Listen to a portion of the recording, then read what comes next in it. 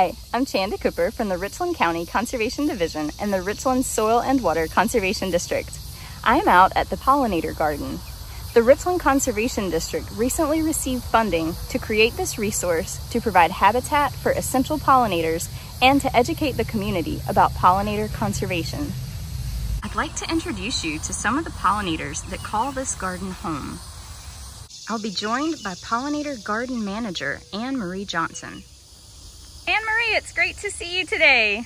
Well, welcome to the garden, Chanda. So glad you could stop by. Thank you. Hey, we're in July now, and I know this is the height of summer gardens everywhere, and we've got all kinds of great things happening here in the garden with pollinators showing up. We have bees and butterflies, beetles, flies, wasps. All of those are our pollinator species. The bees are our biggest, hardest workers, though.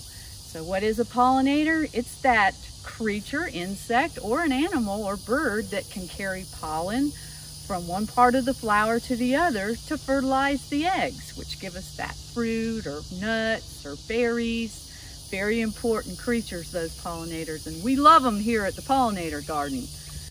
During her time at the garden, Anne Marie has observed dozens of species of pollinators at work. Check out these beauties.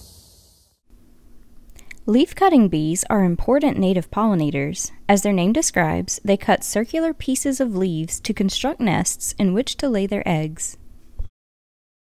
Bumblebees are large pollinators with hairy black and yellow bodies. There are 46 species of bumblebees in North America.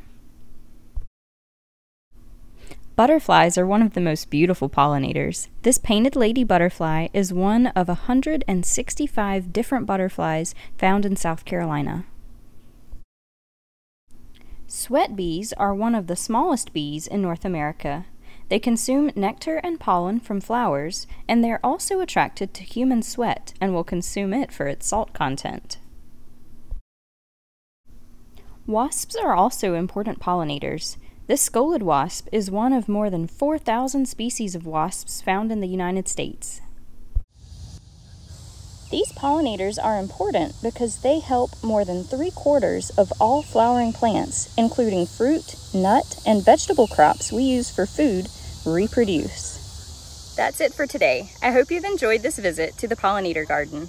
This project was made possible by an urban agriculture conservation grant provided by the National Association of Conservation Districts. Funding for this initiative was provided by the USDA Natural Resources Conservation Service.